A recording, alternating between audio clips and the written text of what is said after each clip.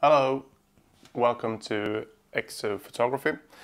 My name is uh, Daniel. Um, today we are going to talk a bit about eyepieces. So we have uh, covered in earlier videos the, uh, the mount and uh, uh, just a recent video uh, how different kinds of telescopes um, are working and how they look. Um, today I was thinking we are going to take a look at what we put in uh, this end of the telescope.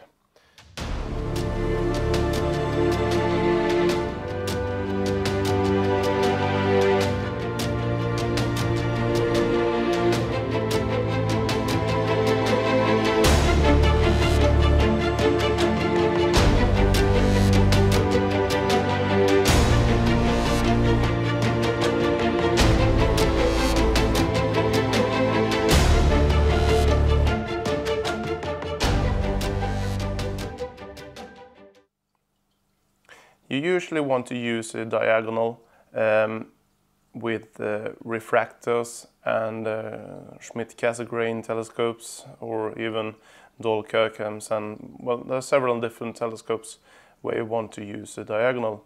Uh, you are not using a diagonal when you are looking through a Newtonian or a Dobson telescope. Um, but usually uh, this goes in the uh, very back of the telescope. When you're buying a telescope, um, uh, it follows uh, one or two eyepieces. Uh, this Celestron uh, 1.25 inch eyepiece um, came with my nine and a quarter inch Schmidt Cassegrain. Um, it has a focal length of 25 millimeters so it's a wide uh, eyepiece or it's a long focal length. This particular kind of eyepiece is called a Plössl. Um, there are different kinds of uh, constructions. Um, uh, it basically has to do with how many lenses and what kind of lenses um, it is uh, inside. So there are different sizes and different kinds of eyepieces. Um, this one is, uh, well, it's okay, but if you want to buy some higher quality eyepiece, um, I went out and bought the Celestron Luminos. So it's the same barrel size, it's 1.25 inch. Um, this particular eyepiece has a uh, focal length of 7 millimeters. So um, how do these numbers uh, work? Well, if we have a telescope, um, this particular telescope uh, has uh, 700 millimeters of focal length uh, and when we are putting the 7 millimeter eyepiece inside here um, that will be a magnification of uh, 100 times. So the math behind this is you take the telescope focal length and divide it by the focal length of the eyepiece. In this case, 700 millimeters divided by 7. If we want to use this particular eyepiece, this is a 2 inch diagonal, so I have to put a um, adapter inside and then put the 1.25 inch um, eyepiece inside. Um, so this combo right here has a magnification of 100 times. And I also have to say that um, 7 millimeter uh, is uh, quite a high magnification. You really need some clear skies to be able to use such high magnification. If we take this eyepiece, which is 25 millimeters, isn't that supposed to be higher magnification? No, it's the opposite way. So in um, if we are using 700 millimeters uh, together with a 25 millimeter eyepiece, we have a magnification of 28 times. So 700 millimeters divided by 25. And this is how it looks. But what if I want an eyepiece in between, well, you can go out and buy an eyepiece or you can buy uh, one of these. Uh, this is called a Barlow lens. It doubles up the magnification by two times. Um, there are several different kinds of Barlows. Uh, you have 1.5 times, 2 times, 2.5 times. So there are kind of different Barlows out there. This particular one is a 1.25 inch. There is also 2 inch models. And also TeleVue has what they call a PowerMate. These are a bit different um, than uh, um, a Barlow lens. I won't cover the, the difference today, but um, there is different kinds of uh, adapters and for uh, changing magnification. So how does this work? Well, you have a Barlow lens and you have a eyepiece. If you are using the 25 millimeter and put it in a two times Barlow lens, we have a 12.5 millimeter eyepiece. So um, that will, together with this telescope, be about um, 58 times the magnification. So if we use these two together, like this, we have a in-between.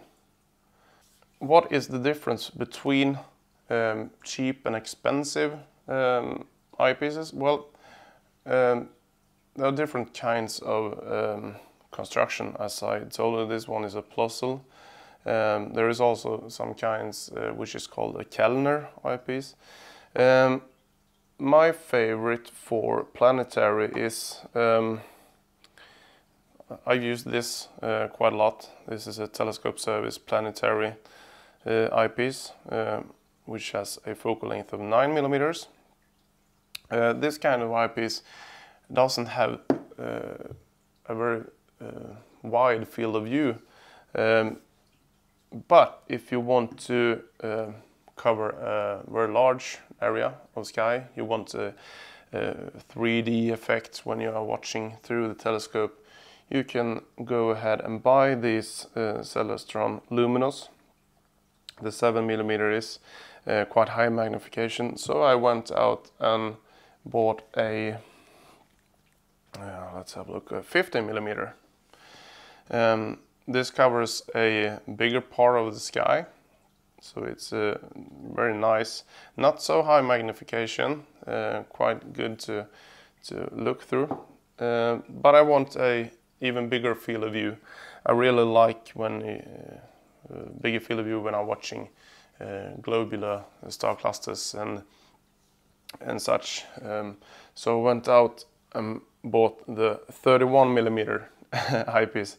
This is huge. Um, it's also quite heavy, so you need a sturdy mount to use this. And you also notice um, it is a two inch uh, barrel on this bad boy. So we don't need the 1.25 adapter. Just put this in. And if you take a look here, you can see uh, it has a quite big uh, circumference and, and diameter. Uh, but what I really like with these ones is you can uh, turn on this uh, rubber ring and you can uh, rise and lower the support for the eye.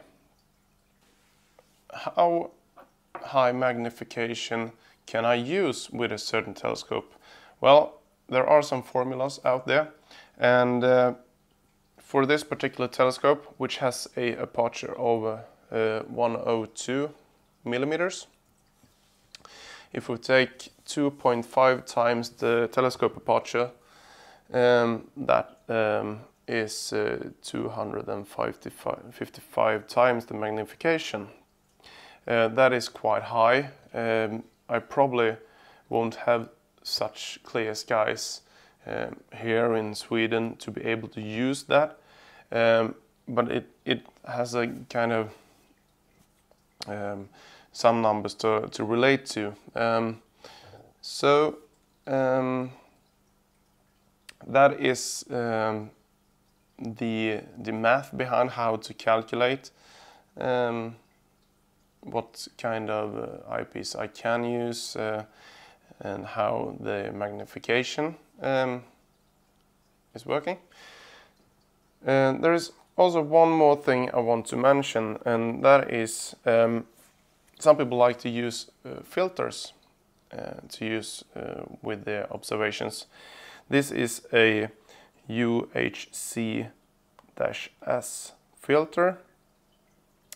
Uh, it's a visual and photographic filter from Baader Planetarium which uh, blocks city light uh, and is uh, making the image a bit more higher contrast and how these are working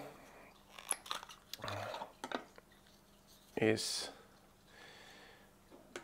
quite easy. It's a two inch filter and what you do is uh, all of the eyepieces or almost all of them have filter threads in the bottom. So what you do is you just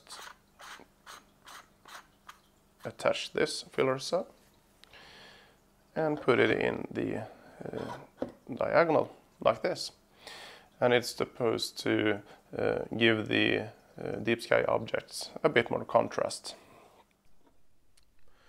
Let's have a look um, how these um, eyepieces um, are uh, changing when you change the focal length of them or when you change the uh, apparent field of view. Um, so I have uh, opened up the Stellarium um, app um, this is quite good, it's uh, free, so I highly recommend this one. Um, I have already uh, made a list of my eyepieces. Uh, the Luminos 7mm, 15mm. I also made a, I don't have the 25mm, but I made a comparison between the smaller Celestron uh, Plössl 25mm which has a apparent field of view of 52 degrees. So we can compare that with the Luminos uh, that has 82 degrees apparent field of view. And I also added my uh, telescope um, so we have a correct um, uh, explaining of, of, how it will look.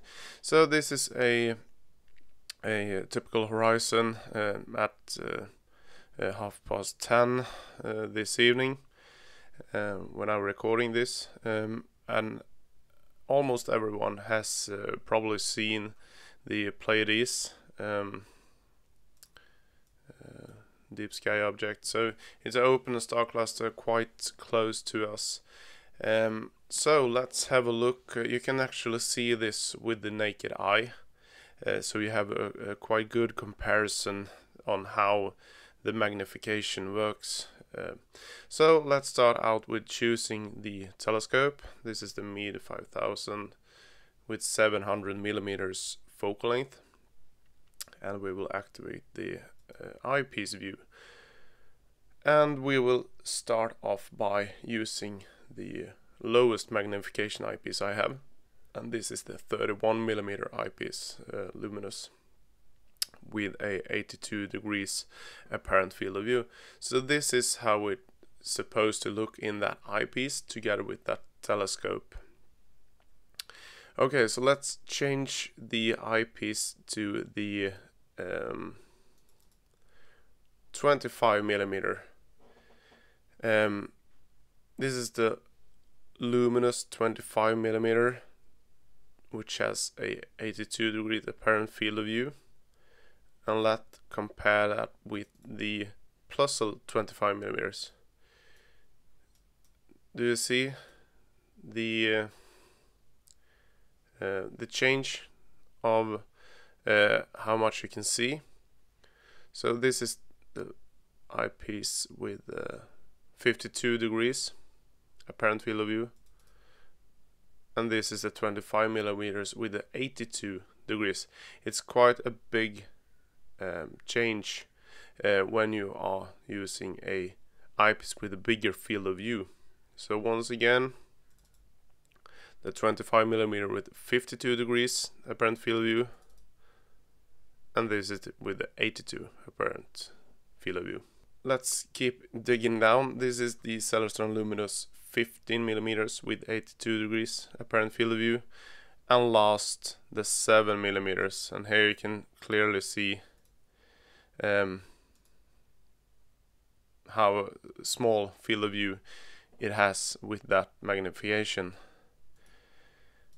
Um, basically when I am observing deep sky objects um, I usually start off by using the lowest magnification and I quite often want to see the whole object. So in this case with this telescope and uh, the Pleiades uh, in uh, in the target I would probably go with uh, this eyepiece the 50 millimeter uh, with 82 degrees uh, apparent field of view so I can see the whole area. If you want to try to um, resolve some double stars um, you might want to uh, let's have a look here. Like these ones. Let's say if we have a um, uh, two two small IPs or a eyepiece with a low magnification we can't resolve these stars uh, then we have to uh, bump up the magnification to be able to see these. Okay, I really hope that this uh, helped uh, a bit um, to see how magnification, but not that just magnification, but uh, also uh, the apparent field of view, um, how that affects uh, what you uh, can see through an eyepiece. Thank you very much for um, watching this video. Um, please like my channel, subscribe, and share among friends who might be interested in watching the wonders of the universe. That's all from me this time. My name is Daniel. You have been watching Exo Photography.